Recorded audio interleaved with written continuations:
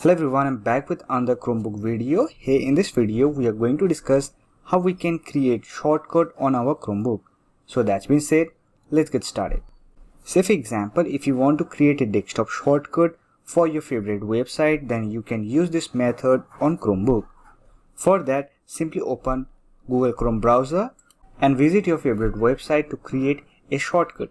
Say for example, you want to create shortcut for the coder world you can simply visit thecoderworld.com and here click on this three dot icon.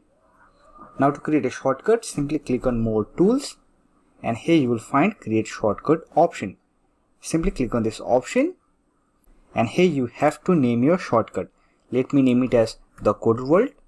Now to use this shortcut as a progressive web application, simply click on open as window, then click on create. So here we have our progressive app shortcut for the coder world.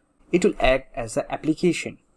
Now to access this application, you can simply open the app launcher and here you should get your shortcut. To pin this shortcut on your shelf, you can simply right click on the shortcut and here you will find pin to shelf option. Simply click on this option.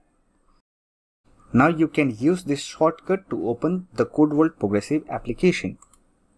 If you want, you can also remove the shortcut from your Chromebook.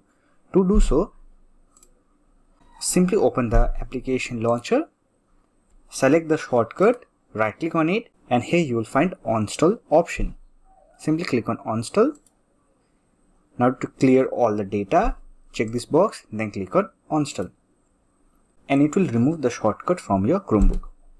So that's it. This is how you can simply create a shortcut on your Chromebook. I hope this video was helpful to you. If you like this video, don't forget to hit that like button and subscribe the channel for more videos like this. Bye for now. See you next video.